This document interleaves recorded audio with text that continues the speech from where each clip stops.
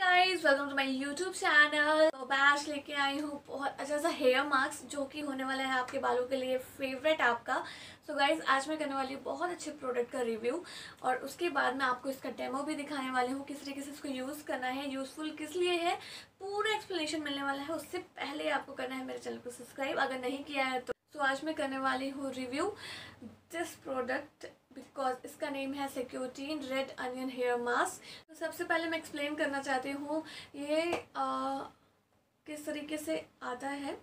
सो so, ये कुछ इस तरीके से कर्टन बॉक्स में आता है।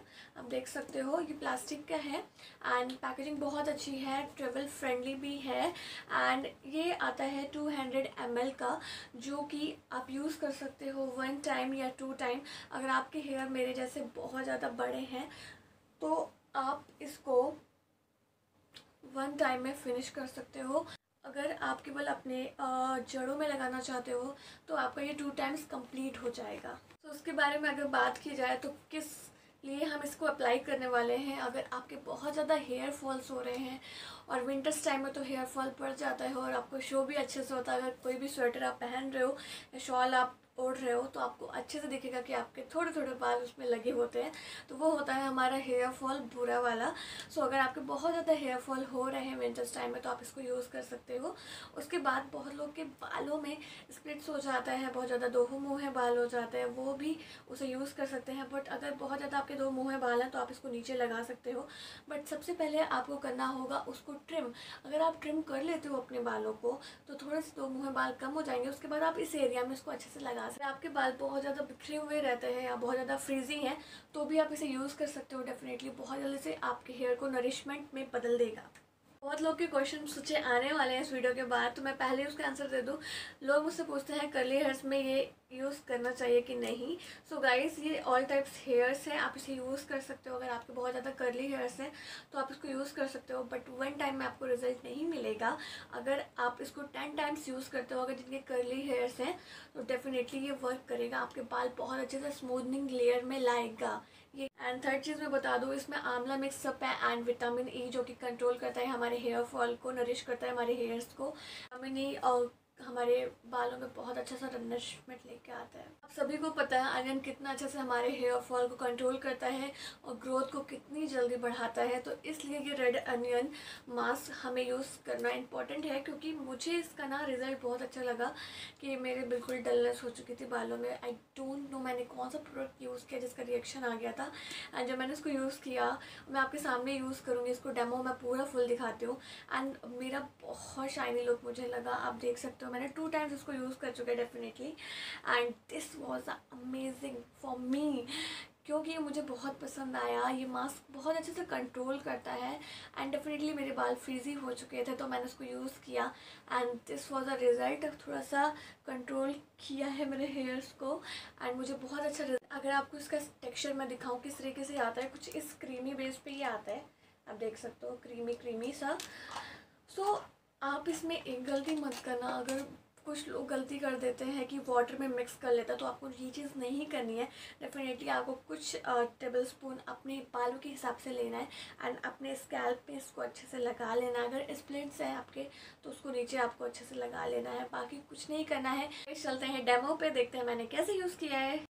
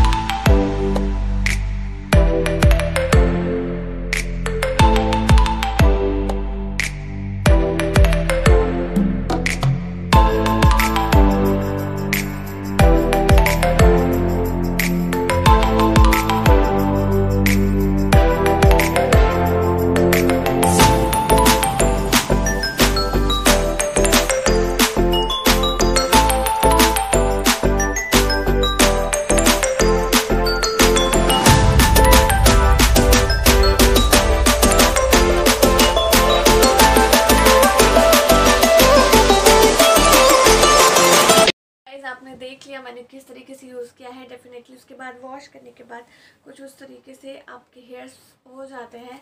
एंड वॉश करने के बाद अगर आप शीरम यूज़ करते हो तो आप शीरम अप्लाई कर सकते हो अपने हेयर्स में अच्छे से लुक लाइक दिस एंड अच्छे से सुखा लेना है बालों को और पैम्परिंग करने के लिए अगर आप ये यूज़ करने वाले हो तो वन वीक में एक भी बार आप इस मास्क को यूज़ करो। तो मैं आपको बता दूँ, ये वीडियो लाने का मेरा पर्पज़ क्या था? बहुत लोगों ने मास्क के लिए बात की थी कि कौन सा मास्क लगाया जाए तो बहुत लोग डी नहीं कर पाते हैं। डेट्स वाई मैंने ये मास्क लेके आया आपके लिए। तो समझ में आ गया होगा कि इस मास्क को कैसे यूज़ करना है। अगर बहुत ज़्यादा फ्रीजी हेयर्स हो रहे हैं, तब भी आप इसे यूज़ कर सकते हो। अगर आपने रिबॉन्डिंग या स्ट्रेटनिंग कराई है तो प्लीज़ इस मास्क को स्किप कर देना, नहीं लगा सकते हो आप, क्योंकि आपने जिससे रिबॉन्डिंग स्ट्रेटनिंग कराई है, वो आपको खुद ही प्रोवाइड करेंगे किस टाइप का मास्क आपको लगाना है। आप उनसे पूछ के ही मास्क ये वाला अप्लाई करिएगा बिकॉज़ आपने कौन सा ट्रीटमेंट लिया है, वो मुझे नहीं पता। ये नॉर्मल हेयर जिन्होंने कोई भी चीज़ अभी तक रिबॉन्डिंग या स्ट्रेटिंग नहीं कराई है, वो लोग इसे यूज़ कर सकते हैं। सेकेंड चीज़, अगर आपके बहुत ज़्यादा हेयर फॉल्स हो रहा है तो आप इसको अप्लाई करके देखो। बट गाइज़ वन बार में इससे आपको कोई फ़र्क नहीं दिखाई देगा ओनली शाइन दिखाई देगी। बट अगर आप टू थ्री टाइम्स यूज़ करोगे तो डेफिनेटली आपको बहुत अच्छा रिज़ल्ट मिलने वाला है। सो so गाइस वीडियो कैसी लगी? मुझे कमेंट्स करके बताएँ एंड जिसको भी परचेज़ करना है डिस्क्रिप्शन बॉक्स में लिंक मिल जाएगा। वहाँ से आप परचेज़ कर सकते हो। सो नेक्स्ट वीडियो क्या देखना चाहते हो? कमेंट्स करके ज़रूर बताना और प्लीज़ गाइस लाइक कर देना चैनल को सब्सक्राइब कर देना। बाय